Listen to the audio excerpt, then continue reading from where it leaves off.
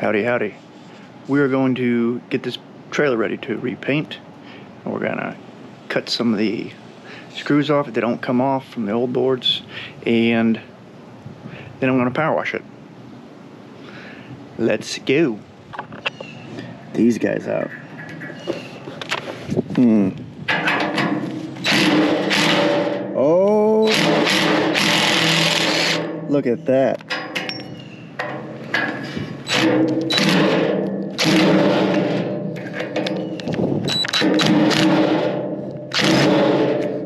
tearing that up.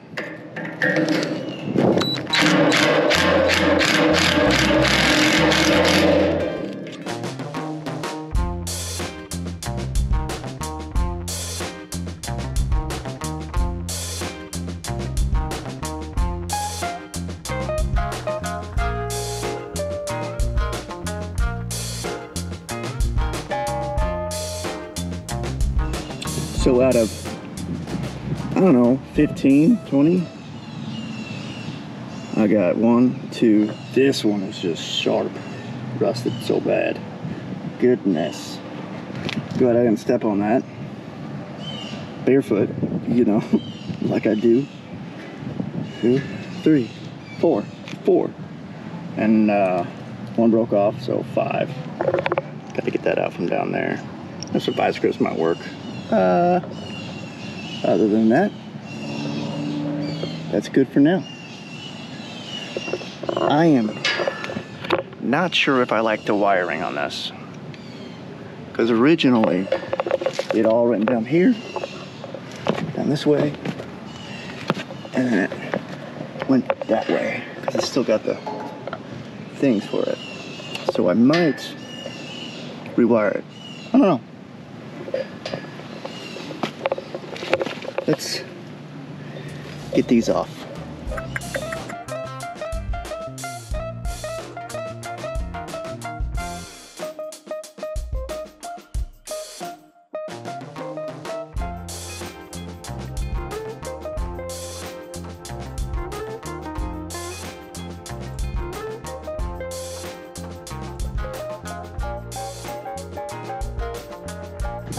So this is the color I want to repaint it. But I do like the way it looks now. I really do. It'll look nicer if it was painted. So, yeah, redo it this color. Still add and re-add this pinstriping they got along here. I like that. Cannot find a VIN on this thing thing. Must have been homemade or something. I don't know. Was that a sticker? Is it a sticker? Well, I took off all the paint. I guess it was uh, actually painted on there.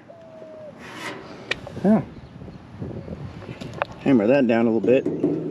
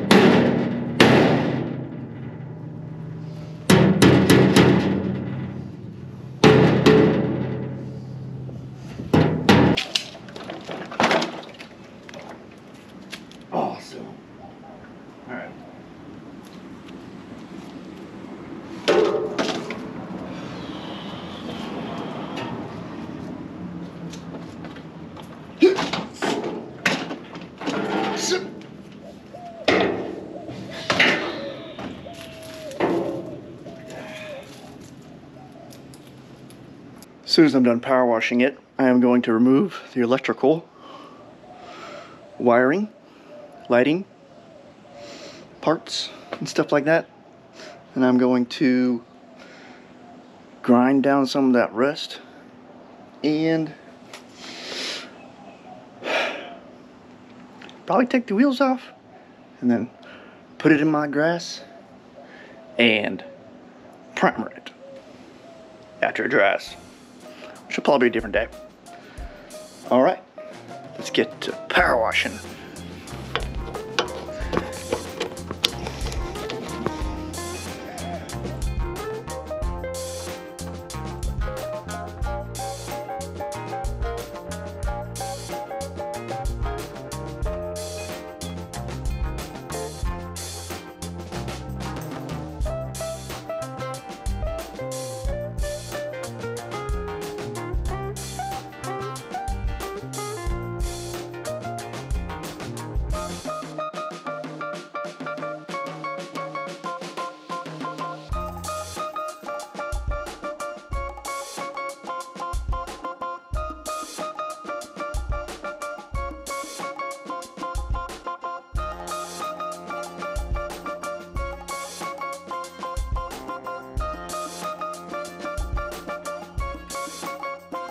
So I didn't make this tight enough.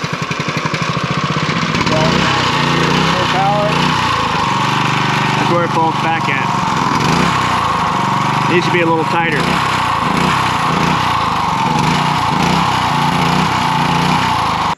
Okay. Now that it is all power washed, I've noticed a few things. It's bluer. It's bluer. Uh, I think I need to drill some holes somewhere because water retains and it's rusting and I don't like that. Let's, I'll show you that right here. Right inside here, the crustiness. I still got water in it. I'll drill a hole down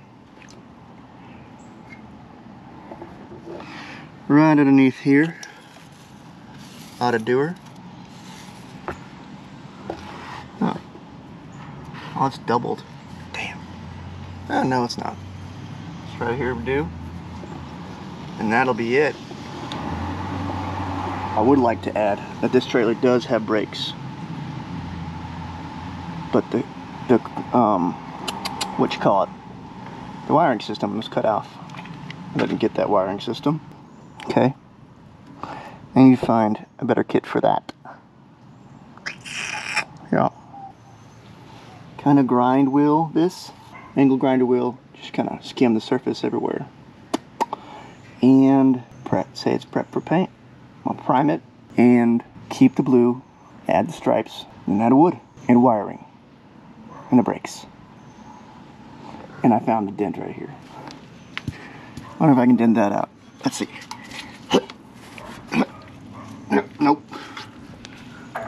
That's a no. And I'm sure it'll just break off.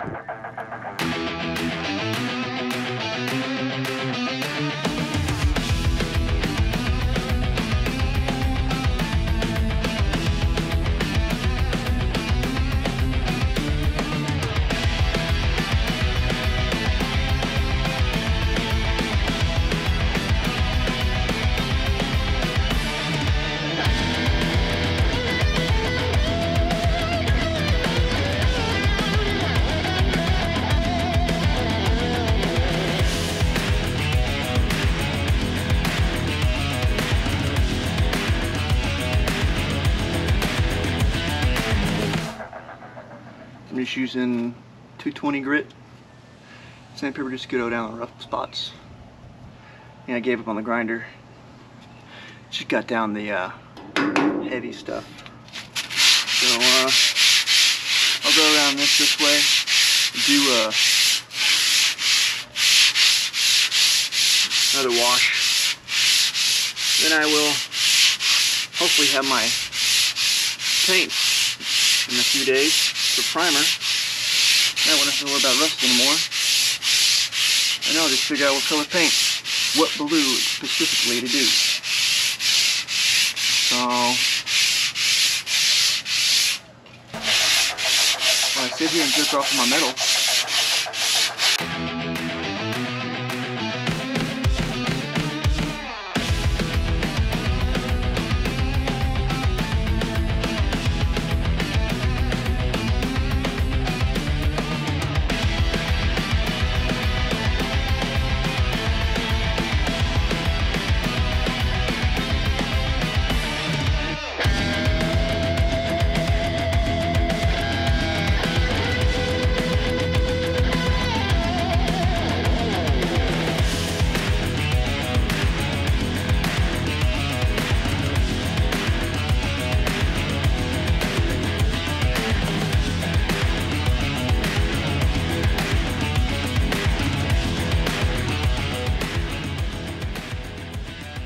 think that about covers it for this segment of video on this trailer. I think there's gonna be two more on this, and I think I'll be done with it. Next one will be priming, primer, painting, and then coating it or finding the color I want. Right here is the Ford blue for engines. I mean, it's close to the blue that was there, but I don't know. I mean, blue does fade when it's been sitting for 14 years. And that trailer used to be bluer. So, overall, I'm not trying to do a great job on the, the paint. Just trying to get coats on it. Make sure it's kind of clean. Kind of clean. Uh, I don't know. Anyway, rambling on. Until next time, bye.